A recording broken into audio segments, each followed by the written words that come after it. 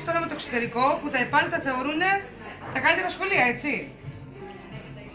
Άρα όλοι κάνουμε ένα πολύ ωραίο αδίκημα στα παιδιά μας. Από οι ίδιοι εμείς πρώτα αρχικά η οικογένεια, η κοινωνία, οι κρατικοί φορείς και σαφέστατα βέβαια δεν οφείλεται στα ελληπή προσόντα των νέων. Εμείς το χαβά μας. Οπότε καταλήγουμε ξανά και ξανά, μάλλον καταλήγω ξανά και ξανά στο ίδιο συμπέρασμα, ότι δεν μας φτάνει ούτε οι συνομήλικοι των παιδιών πάνε στα άλλα σχολεία, αλλά οι, ενήλικοι, οι ενήλικες γονείς εμείς.